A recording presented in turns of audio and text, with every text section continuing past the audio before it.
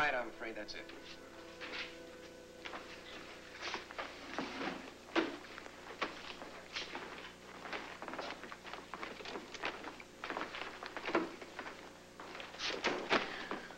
Okay, Frank.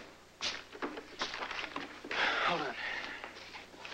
Let's do it. Okay, I guess.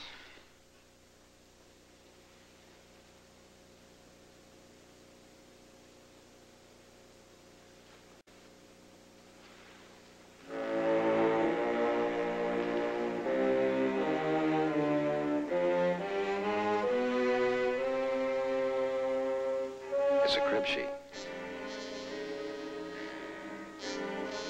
Whose is it? It's mine, Mr. Novak. Right. It's yours, Patty? It belongs to me.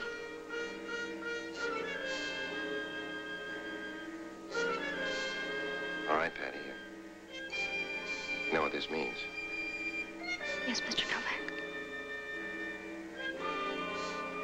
All right, you can go.